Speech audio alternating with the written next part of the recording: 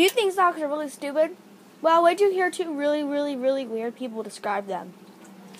Hi, I am Sombre Itoto, and I am in my basement. And I would want to tell you that I have a special project I want to tell you.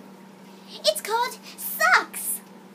They come in color and style. They have smiley faces, some and they even are fuzzy. Look at that softness. You want to touch it. No, you do want to touch it. You know you want to touch it. They are amazing. You can put them on your hands. See?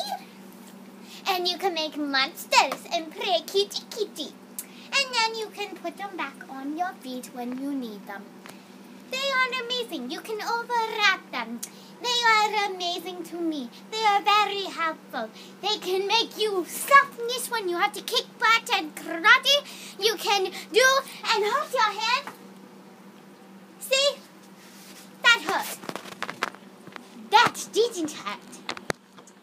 So you need to buy them for $750. You can get your own socks.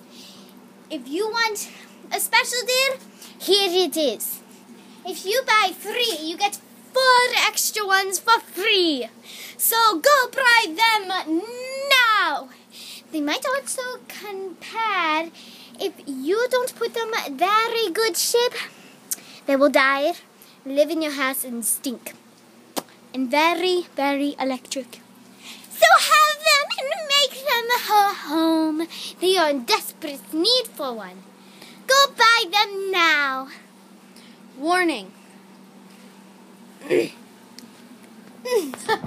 Warning. These socks can hold electrifying power if you rub them on your head, and you will not die, but you will.